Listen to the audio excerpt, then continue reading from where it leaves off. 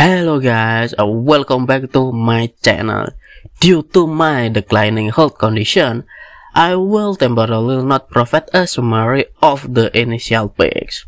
So, you can enjoy the main video without having to listen to my explanation, which some people feels that is very annoying.